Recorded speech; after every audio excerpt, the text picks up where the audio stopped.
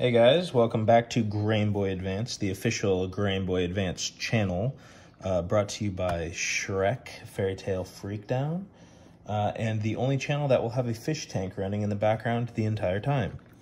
Uh, today, I have this Game Boy Advance in the uh, classic milky, milky milk finish that uh, probably my favorite Game Boy name, Milky and uh, I'm going to swap it into this uh, Smoke Gray Retro 6 uh, Handheld Legends custom molded shell. Uh, the reason I chose this one was I got the Retro 6 Handheld Legends DMG shell, and uh, this thing feels so good. It's it's pretty much as good as the originals, uh, if not better, almost, in my opinion. Uh, but hey, it's just my opinion. Uh, I got black buttons, membranes, and uh, more buttons and plastics and stuff for it. I like the black on, on black look. I also got a, uh, came with a uncut backing, so you can put AA batteries in there.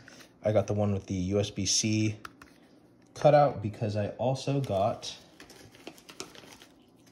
a clean juice battery for it. So this thing is really cool. I got the same thing for the DMG. And it can come in and out so you can uh, just swap out the, the clean juice for regular batteries if you prefer. I don't know why you would, but uh, it's not a permanent modification, which I like a lot. So putting that in there. Uh, we're also putting in a, uh, I think it's a V2 IPS LCD screen. You can't see it because it's got yellow uh, adhesive backing or whatever. Um, and we're gonna have to solder some wires onto the motherboard, which I did for my Game Boy Color. You can see them running through there. I even put the, uh, rigged this myself with the lithium battery. So we're going to do that for this, and uh, let's just get into it. So I already cleaned this one off screen. Uh, it was extremely dirty. I mean, this thing was not working. I uh, got it up and running. Uh, let's throw some batteries in there just to prove it. Oh, there's a screw on here. I was looking for this screw. Anyways, now that we uh, figured out where the screw for my Game Boy SP went off to, we're gonna chuck some Amazon Basic batteries in there. I don't have the switch in right now. There you go. If you can see that, works perfect. It obviously sounds great. Um, not bad. So we're going to turn this off. And we're going to just essentially just drop this in because it's already pre-cut this uh, Retro 6 shell. It feels so nice. I, am super stoked to get in there. Yeah, but it's pre-cut for the screen. You don't need to fiddle around with uh, flush cutters or anything like that or Dremel tools. Uh, everything just pops in here really nicely. The battery compartment too has also been leveled, so, which I think it's, oh, no, no, no, yeah. They got rid of the little barriers here. There's, on some of them, there's a, a divider, but they uh, shaved that down already or pre-molded it to be that way. So you don't have to fidget with it. And uh, we're just gonna pop this in. So come back for that. So this is already unscrewed, ready to go. We're just gonna pop this back off here, set it to the side. This ribbon cable, I like to do it with tweezers or like a flathead screwdriver or something. I just, with your nails, sometimes you can hit it kind of weird. Just pop that out. Be gentle, which it sure it doesn't look like I'm being. And that comes right out. Take the motherboard out. Pop that to the side right now. And then I can just leave all this in here because I'm not gonna use any of this. So I'm just gonna put that to the side. I'll probably end up um, either using that in a future build or um, just selling the parts on eBay and getting some of my initial investment back so that I can put it into another Game Boy. So, first thing we have to do here is get this screen out. I've actually never done this screen before, so I'm probably gonna have to look up some tutorials on it uh, mid-video here. So these, I believe, are spacers. This looks like it is a sticky adhesive of some sort. Uh, this is the screen, very delicate little connector there too. This is the ribbon cable.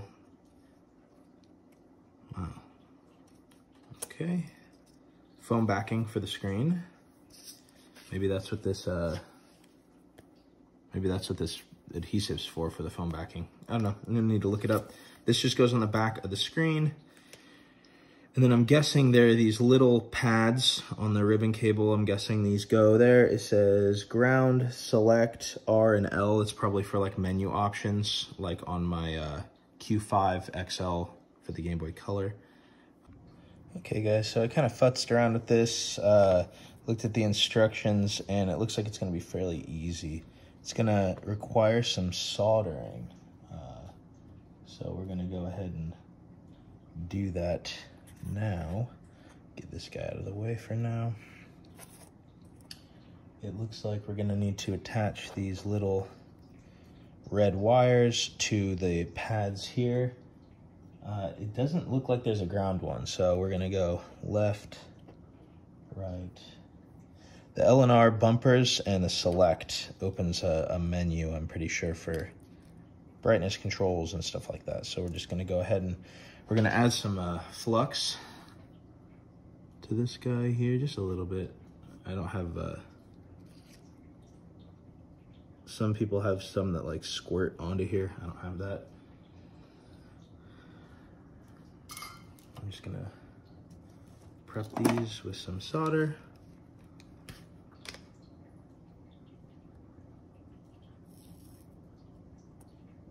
Okay.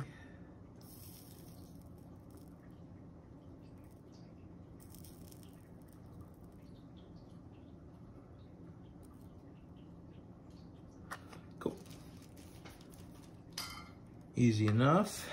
Okay, and then I'm just gonna clean off that flux with some uh, isopropyl alcohol. isopropyl alcohol? Isopropyl alcohol. Some of the paint came off from this cut pad. Isopropyl alcohol on a Q-tip. Isopropyl gall. Protocol isopropyl. Okay. So next we're going to solder on these wires. Looks like these two going this way. And this ribbon cable does not need much heat from your soldering iron. So I, I actually had to turn mine down. Uh, was at like 700 before for soldering PCBs. I also do uh, guitar effects pedals and you need it to be pretty hot for that. Okay, look at that. Easy peasy, guys. So you got this little clip.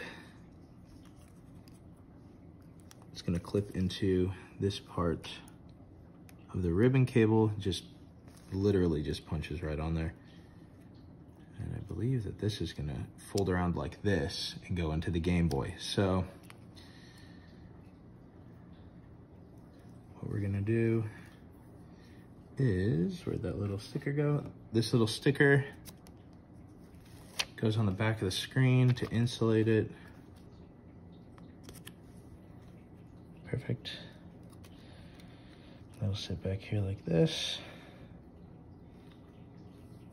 And I think this is the correct pinout. I forgot that the Game Boy Advance has two separate, uh, two different, I should say, not separate, uh, pinouts for the ribbon cable. There's like a 20 pin and an 18 pin or something like that.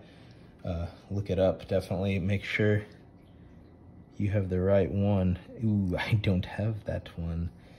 Okay, so I have to use the smaller pin out. That's weird. So I need to look that up. So it's gotta go like this.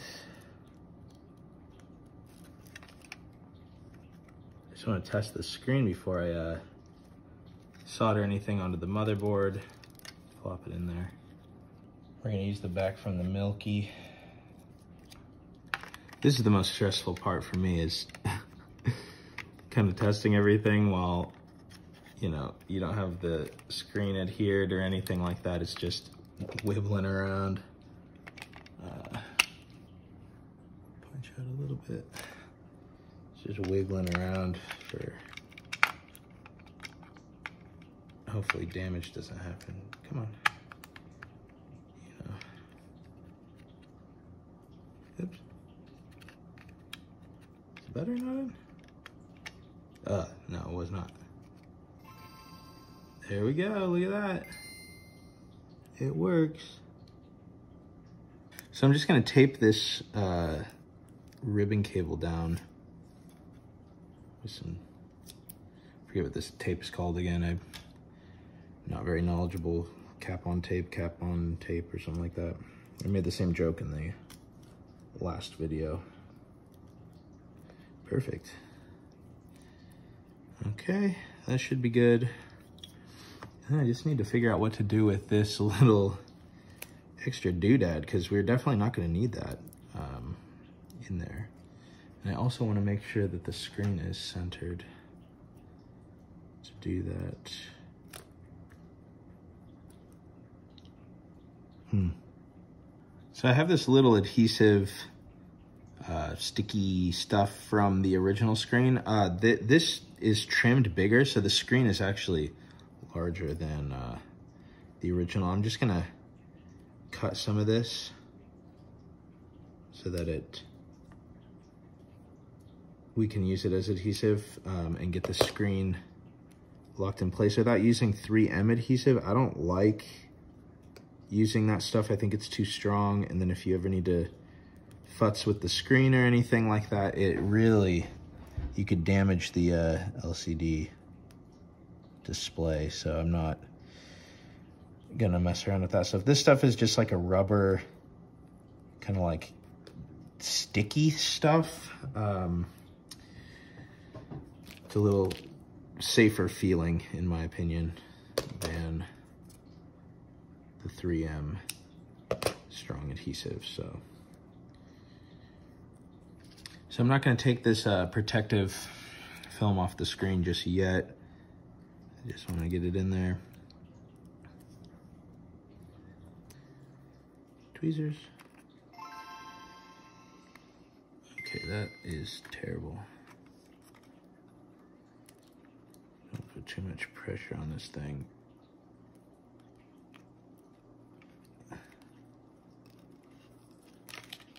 Okay. So we just want to get it centered.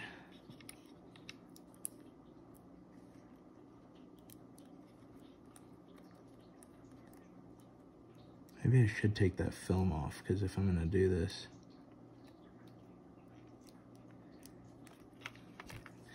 you know, I should also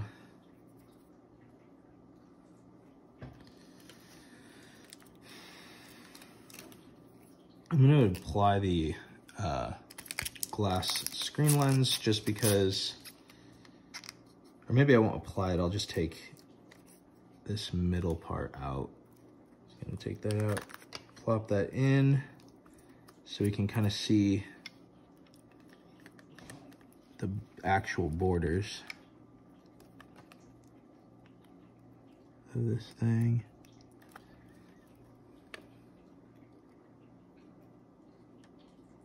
take off the protective film. How does that look? That looks pretty damn good. Okay. Just gonna gently, gently, gently, gently stick that down. Okay, so what we're gonna do, I think I'm gonna tuck this behind this. So it's kind of out of the way. All right, I'm also gonna tape that down so it doesn't move.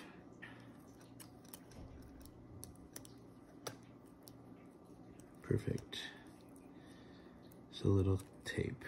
And this is gonna go like this. TP2, right here. Get a little blobby of solder on there. Get the select. I'm not gonna want it to go anywhere near the D-pad.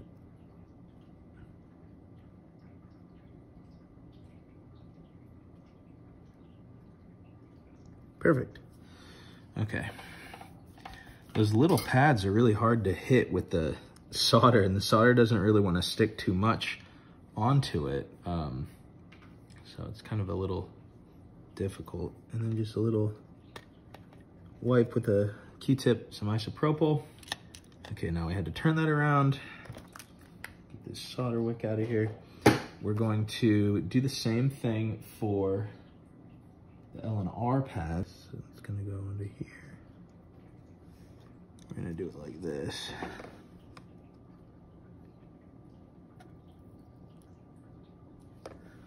And this guy is gonna go here.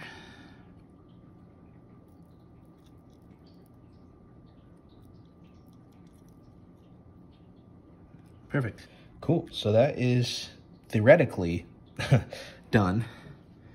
So the next step here would be uh, this foam pad. Foam pad's got to go here. Uh, it looks like I'm going to cut a little slit in the foam pad so that it can slide in there. Slide under here.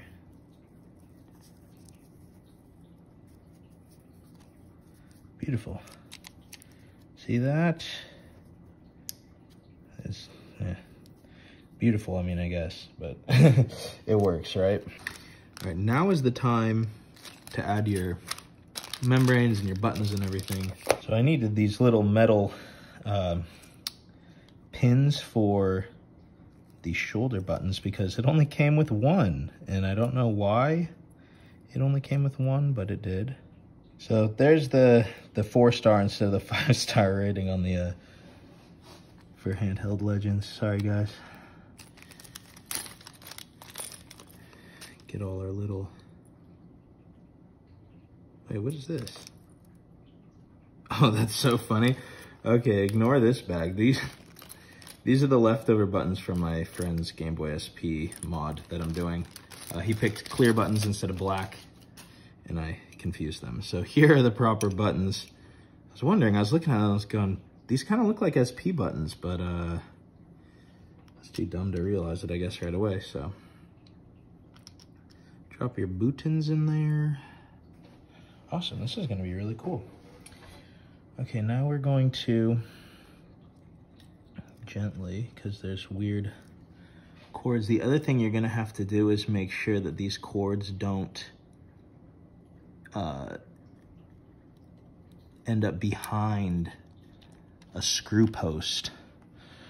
I had that happen on my Game Boy Color and it was not fun. It was doing all sorts of weird stuff. I didn't understand why. It was a touch sensor thing. It was like flipping out and then I realized the button went behind a, or the, the wire went behind a screw. Okay, I think I have those cords all uh, properly stowed away so that they won't be in the way of screw posts or the shell shutting.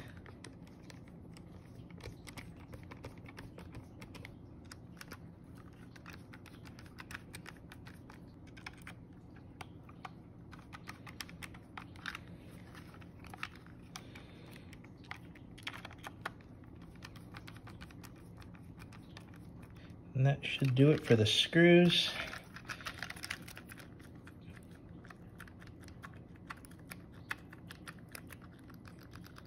Feels good, feels good. Now we're just gonna do the clean juice battery. Now this should, the other one was really easy to do. I just clip this in, take off the adhesive and just make sure that it's where you want it to be before you stick it down. Oh, this one is not as good of a fit as the other one. There we go. Okay, so once you get this in, you have to take this out. Once you get that in, it theoretically should fit into this. Theoretically. There we go. Look at that. All right, so we have a fully functioning Game Boy. Look at that. So how this works for the brightness is if you hold select, you can go bright up with the R or bright down with the L. Very cool. Love that. Okay. Let's uh, throw a game in here and test out all the buttons. Make sure I didn't mess anything up. Let's do Super Mario because I think that uses all the buttons.